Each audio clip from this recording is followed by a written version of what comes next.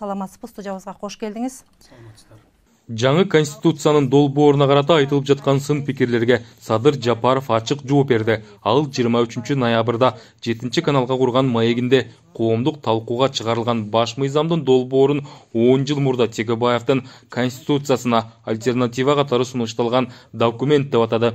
Жапаров анын авторлору катары жыйырмадай илимпоз тарыхчыларды белгилеген бул долбоорду эки миң онунчу жылдан бери токсон алакеттен өткөрүп шлифовать этип баягы талкуулап ушинтип келаткан долбоор болчу. Баягы курултайчылар чогулуп жыл сайын эле чогулушчу эле го негизи билесиздер архивтерди көтөрсөңүздөр чыгат.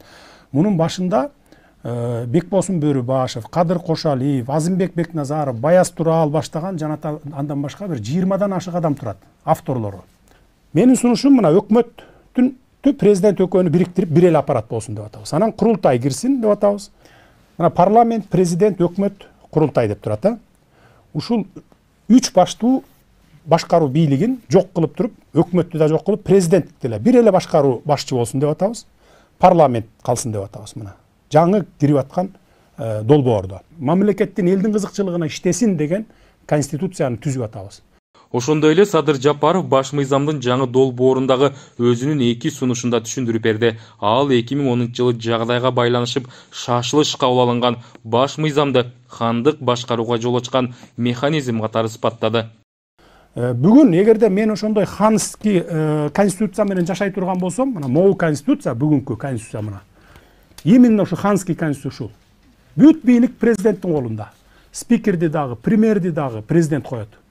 Утуп келген партиялар президенттин көзүн карап отурат ким спикер болот ким э, премьер болот деп карап отурат анан президент айтып баланчаны спикер кыл түкүнчөнү премьерге көрсөткүлө үчөөүн коалиция түзгүлө тигил экөөнү оппозицияга таштагыла деген конституция. Мына могул он жылдан берки конституция. Мына көрдүңүздөрбү соттордун баарын президент шайлайт райондон э, областтыкын э, жогорку сотту конституциялык палатаны бүт баары президент шайлайт бүгүн мына ушул конституция. Эгерде мен жеке кызыкчылыгым көздөсөм жок эле дегенде бир үч жыл беш жыл ушуну менен башкарып отура бербейт белем талкууга коюлган баш мыйзамдын долбоорунда президент мамлекеттин башчысы катары саналат жана аткаруу бийлигин жетектейт деп көрсөтүлгөн. Ал ошондой эле өкмөттүн курамын жана түзүмүн өзү аныктаары жазылган. Жогорку кеңештин тиешелүү жоболоруна өзгөртүү киргизилери да каралып жатат. Балким парламент эки палатадан куралышы да мүмкүн. Элге жакын болобуз. Бийликке эл үнү жетсин дей турган болсок эки палаталуу парламенттин өзү керек болуп турат себеби мыйзам чыгаруу палата бүгүнкү күндө сөзсүз түрдө кыскарат менин оюмча кырк беш депутат болсо болот ал система партиялык система менен шайланыш керек эл өкүлдөр палатасы жүз жыйырмадан кем болбош керек алар айлык албайт мен айтайын дегеним бул ыкма бүгүнкү күндө социалдык чабалдыкты жоет бул ыкма бүгүнкү күндө пикет митингтерди жокко эсе кылат бул ыкма бүгүнкү күндө коррупциялык системаны жоет айрым саясий топтор менен укук коргоочулар садыр жапаров баш мыйзамдын жаңы долбоорун шашылыш алып чыгып президенттик шайлоо менен бирге референдумга коюуга камынып жатат деп чуу салып жаткан. Бирок жапаров алардын да сынына жооп кайтарып жогорку кеңештин депутаттарына кайрылды.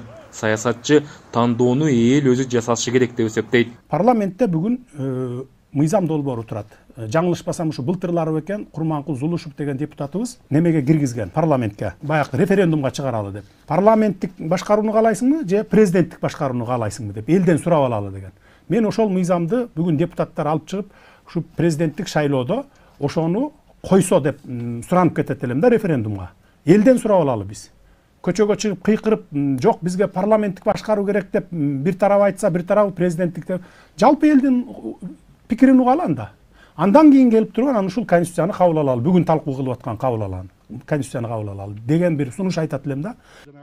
Президенттин алдында түзүлгөн конституциялык кеңешме көчөгө чыгып айгай салган саясатчыларды чакырып өз сунуштарын берүүгө үндөдү курамында ар кыл чөйрөдөн түзүлгөн токсон адамдан турган кеңешме күн алыс долбоорду талкуулап жатат. Анын катарына акырындап бир топ саясий топтор да кошула баштады.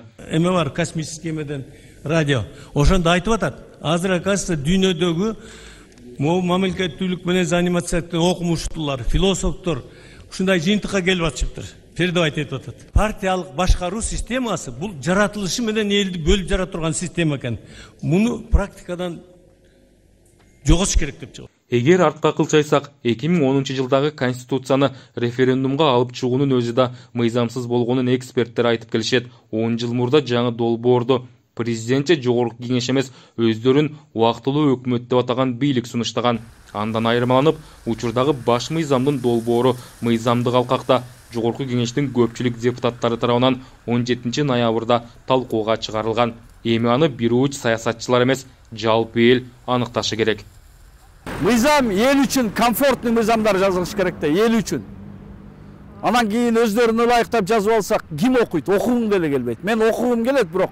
Андай текебаевдин мыйзамын окугум да келбейт да. Чын айтсак жиркенем руслан калматов шерзат экенбердиев жетинчи канал.